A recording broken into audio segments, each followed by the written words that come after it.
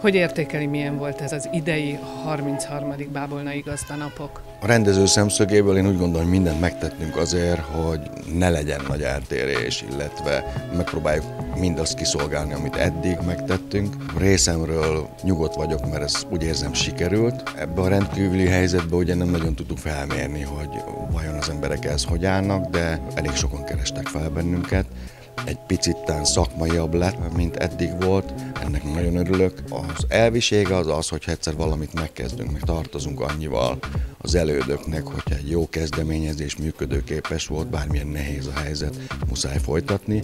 Most mi ezt tettük, de ha összegzem, akkor tényleg elégedett vagyok vele idáig. Hát ugye mindig át kell gondolni, hogy mi az, ami jó benne, mi az, ami változtatást igényel, Ugye minden következő kiállítás az előző kiállítás alatt kezdődik el, mert akkor kell átgondolni, hogy mit hova teszünk és hogy tegyük. Beszélgettünk itt már a kollégákkal, a szervezőkkel, hogy hogy tudnánk ezt még szélesebbé tenni. Nem gondolom, hogy a mai világban, ugye sokszor halljuk azt, hogy az internet világában ezek a kiállítások már ilyen-olyan módon elveszítik a jelentőségüket. Nem, az élő szó az élő szó. Valakinek már egyszer mondtam, hogy teljesen más a BL döntőt a televízióban nézni, vagy élőbe.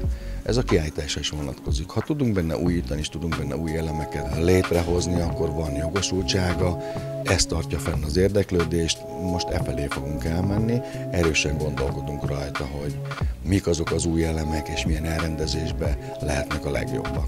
Ugye nálunk azért ez egy folyamatosságot igényel, tehát évjáratok jönnek a ménes életébe, új csikók születnek, felnőnek, aztán jön a következő generáció, van benne egyfajta állandóság, de mindig van benne annyi új elem, amivel érdemes kirukolni, mindig van benne olyan új egyed, amit érdemes megmutatni. Ez nekünk nagyon fontos. Ugye a ménes az helyhez van kötve, mi nem nagyon tudunk szaladgálni vele, de az, hogy az épületeink hogy néznek ki, a park hogy néz ki, a lovak milyen állapotban vannak, milyen kimagasló egyedek vannak, ezeket ilyenkor meg lehet mutatni.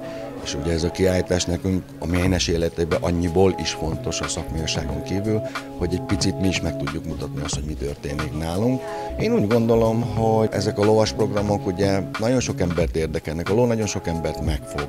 Hogyha ebbe is mindig van egy kis új, akkor, akkor ez mindig érdekes tud lenni, és ez is egy olyan vonzerő, amit érdemes szem előtt tartani, és érdemes mindig fejleszteni. Találkozunk jövőre? Nagyon bízom benne, hogy igen, mi rajta vagyunk.